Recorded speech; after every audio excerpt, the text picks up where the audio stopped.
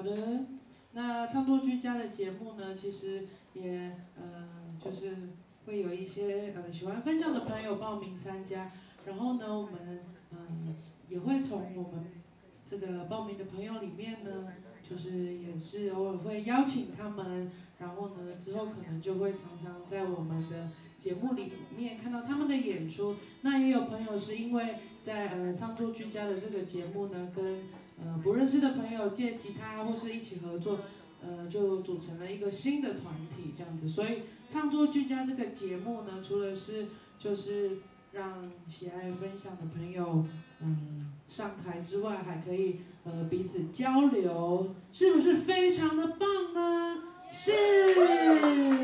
那在等子权的呃同时，还是我们第三组的报名的朋友可以先上台呢？要不要？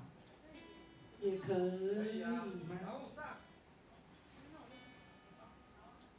叫做哪雾，掌声欢迎哪雾，耶！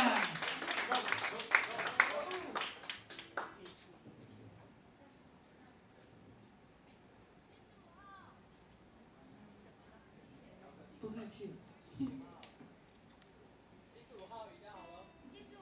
啊，那个有点饮料的朋友，千万要记得去领取哦，不然就是冰块都会融化。